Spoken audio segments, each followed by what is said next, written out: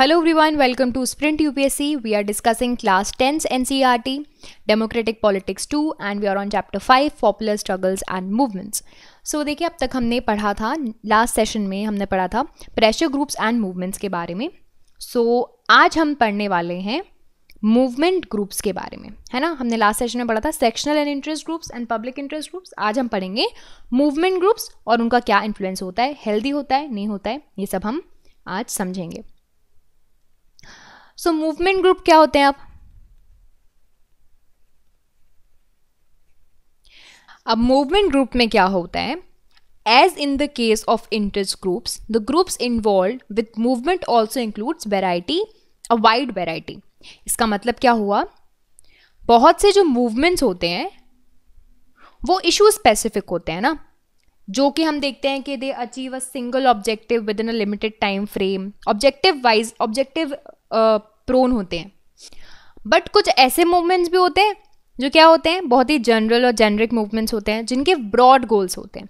Nepali movement की बात करें, उसमें ब्रॉड गोल था डेमोक्रेसी की बात की गई थी, है ना? इंडिया में नर्मदा बचाओ आंदोलन की बात करते हैं अगर हम तो वो इस तरह के मूवमेंट की एक एक ब्रॉडर परस्पेक्टिव देते हैं। So movement started with the specific issue of the people who are placed by the creation of Sardar Sarovar dam देखो यानी कि जो सरदार सरोवर डैम जो बन रहा था, उसके आसपास जो लोग रह रहे थे सपोज़ ये रिवर है रिवर में यहाँ पे डैम बनाया जा रहा है बट यहाँ पे जो लोग रह रहे हैं, उनको डिस्प्लेस कर दिया गया था। तो प्रॉब्लम किन की थी? जो लोग यहाँ पे रह रहे हैं, है ना? तो ऑब्जेक्टिव क्या था? To stop the dam from being constructed कि भाई डैम का कंस्ट्रक्शन रोक लो। फिर ये वाइडर मूवमेंट बन गया। इसने मूवमेंट ने बहुत से बड़े डैम पे क्वेश्चंस उठाए कि ये जो मॉडल है डेवलपमेंट का इन डैम्स को बनाने के लिए, उसके पीछे लोगों को कितना प्रॉब्लम्स फेस करने पड़ते हैं। Not only about this dam but all all the big dams तो इस मूवमेंट ने the like this movement this kind of movement and to have a clear leadership and some organisation but their active life is usually very very short यानी कि जब तक ये dam बन नहीं जाता या फिर इसका कंस्ट्रक्शन रुक नहीं जाता तब तक ही ये मूवमेंट चलेगा दीज सिंगल इशूज मूवमेंट इनको कॉन्ट्रास्ट कर सकते हैं हम with the movements that are long term और जिनमें बहुत ज़्यादा इश्यूज़ होते हैं। जैसे कि एनवायरमेंट एनवायरमेंट के लिए कोई इशू होते हैं, फिर वुमेंस के लिए कोई इश्यूज़ होते हैं। वो वाइड रेंज के इश्यूज़ होते हैं। ठीक है? उनके लिए कोई सिंगल ऑर्गेनाइजेशन को कंट्रोल नहीं करेगा।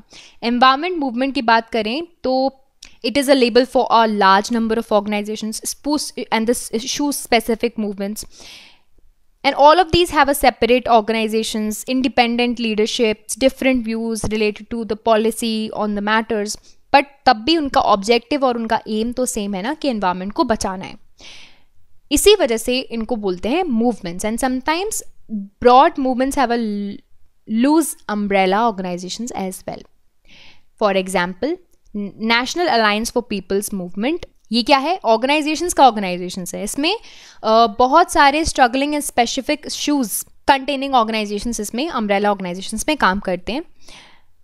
अब हमारे ऊपर सवाल है कि ये पॉलिटिक्स को कैसे इन्फ्लुएंस करते हैं right pressure groups and movements they exert influence on politics in very many ways पहली बात they try to gain the public support and sympathy of the people right लोगों की सिंपथी लेंगे पब्लिक सपोर्ट लेंगे अपने goals activities को carry out करने के लिए कैंपेन्स करेंगे मीटिंग्स रखेंगे पिटिशंस वगैरह फ़ाइल करेंगे, है ना? मीडिया के थ्रू भी अटेंशन गेन करने की कोशिश करते हैं। तो पहला क्या? Gain attention gain public support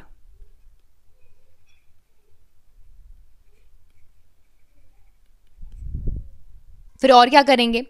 फिर करते हैं ये दे ऑर्गेनाइज प्रोटेस्ट एक्टिविटीज़ जैसे स्ट्राइक करेंगे बेसिकली प्रोटेस्ट करने के लिए या फिर गवर्नमेंट के प्रोग्राम्स को डिस्टर्ब करने के लिए, क्या करेंगे? काम करना बंद कर देंगे। वर्कर्स ऑर्गेनाइजेशंस एम्प्लॉयज़ एसोसिएशंस ये यूजुअली ये टिक्स जो हैं, ये टैक्टिक्स जो हैं यूज़ करते हैं गवर्नमेंट पे प्रेशर करने के लिए, है ना? अब जैसे कि एम्प्लॉयज़ एसोसिएशन है, काम करना बंद कर देगी तो गवर्नमेंट कैसे काम चलाएगी? So they use protest as a tool in order to put an influence and exert an influence on the policies और the politics of the government और क्या होता है? बिज़नेस ग्रुप्स ये क्या करते हैं? They often employ professional lobbyist and sponsor expensive advertisements ठीक है? ये थोड़ा पैसे वाले लोग पैसे वाले काम करते हैं। And some person from pressure groups of movements में participate in the official bodies and committees जो एडवाइस दे सकता है बिज़नेस ग्रुप को बड़े बड़े बिज़नेस ग्रुप को। और while interest groups and movements do not directly engage with party है ना? ये पार्टी पॉलिटिक्स पे डायरेक्टली एंगेज नहीं करते। बट बहुत से पॉलिटिकल इंस्टेंसेस ले लेते हैं without taking support of any particular party ठीक है? उनकी पॉलिटिकल आइडियोलॉजी भी हो सकती है पोजिशंस भी हो सकती है मेजर इशूज़ पे। Sometimes political parties grow out of this movement हो सकता है कि कोई मूवमेंट चल रहा है, उसके चलते चलते वो ऑर्गेनाइजेशन पॉलिटिकल पार्टी बन जाए। एग्ज़ाम्पल भी है असम में। student movement against the foreigners came to an end and it led to the formation of Assam Ghana Parishad.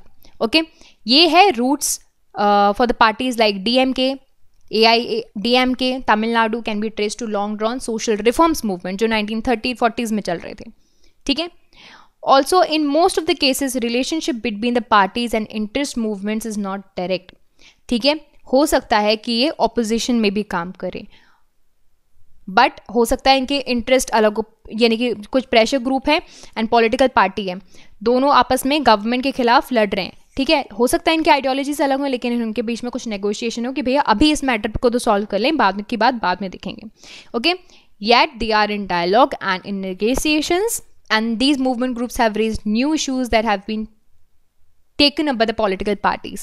Most of the new leadership in the political parties comes from the interest and the movement groups.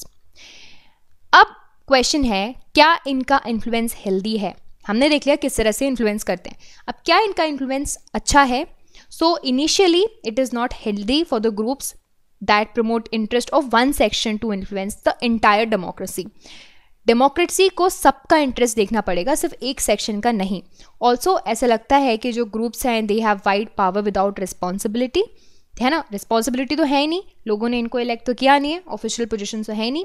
Political party को तो election लड़ना है, इनको थोड़ी ना election लड़ना है। तो ये कुछ भी कर सकते हैं।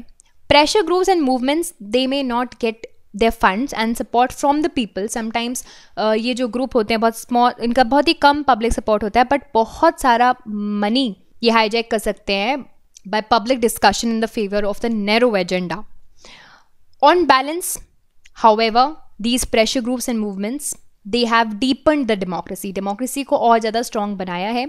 रूरल्स पे प्रेशर रखना अनहेल्दी नहीं होता। डेमोक्रेसी में जब तक लोगों के पास अपॉर्चुनिटी रहेगी, बोलने की, वो बोलते रहें, इससे जो है चेक्स एंड बैलेंसेज ही बने रहते हैं। हो सकता है बट ऐसा चलते हुए भी गवर्नमेंट कभी कभी अनड्यू प्रेशर में भी आ जाए। कुछ ब्रिज एंड पावरफुल लोगों के।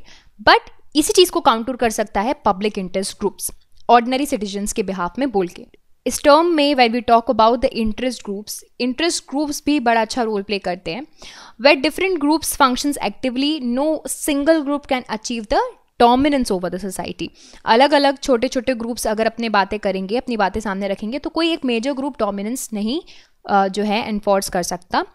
If one group bring pressure on the government to make policies in its favour दूसरा ग्रुप भी बोलेगा कि भाई हमें भी चाहिए right so government gets to hear about what different sections of people want and इसकी वजह से वो एक rough balance of power accommodations वो जो है वो कॉन्फ्लिक्ट इंटरेस्ट में काम कर सकता है So this is it about the pressure groups and the movements. I hope you understood these uh, uh, entire chapter.